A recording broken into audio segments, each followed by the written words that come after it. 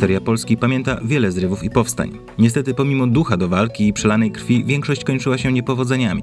Zarówno powstanie listopadowe, styczniowe czy warszawskie kończyły się boleśnie dla historii naszego kraju.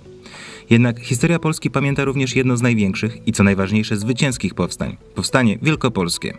Powstanie wielkopolskie, które wybuchło 27 grudnia, spowodowało, że ziemie wielkopolskie zostały wyzwolone praktycznie przez powstańców wielkopolskich. To się zakończyło w zasadzie 28 czerwca 1919 roku, gdzie w wyniku traktatu wersalskiego te ziemie zostały przyłączone do macierzy.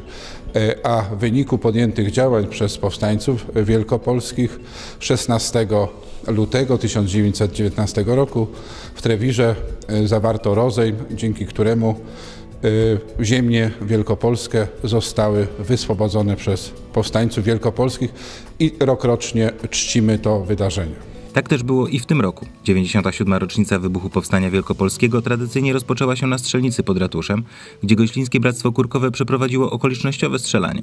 Następnie pod pomnikiem ofiar powstańców wielkopolskich w aseście sztandarów władze miasta złożyły wieńce.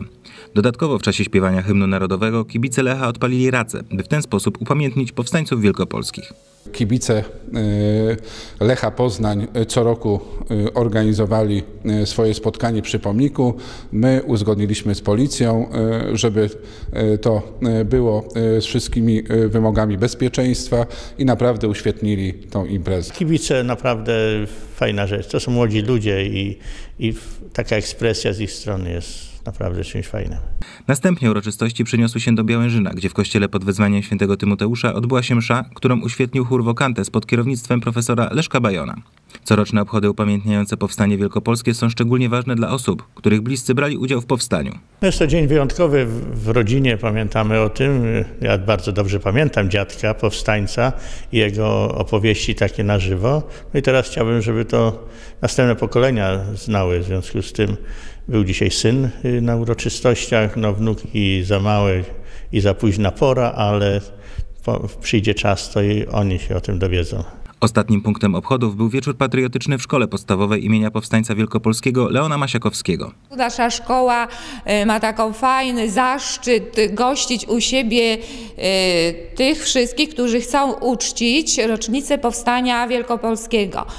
Dzisiaj jest ona 97, więc również do naszej szkoły zaprosiliśmy wszystkich, którzy uczestniczyli we mszy świętej, aby wspólnie tutaj pośpiewać pieśni patriotyczne, powspominać powstańców i w ten sposób sposób, jak utrwalić pamięć o nich i pokazać, że są ciągle nam bliscy i że my tutaj w szkole tą historię powstańców jako szkoła nosząca imię powstańca wielkopolskiego właśnie kultywujemy i jest ta historia żywa. Na spotkaniu w szkole uczestnicy obchodów 97. rocznicy wybuchu Powstania Wielkopolskiego mogli dowiedzieć się o genezie powstania za sprawą prezentacji, którą przedstawiła pani Katarzyna Jankowiak, a na koniec odbyło się wspólne śpiewanie pieśni patriotycznych, które przygotował syn powstańca wielkopolskiego, pan Jan Kaseja.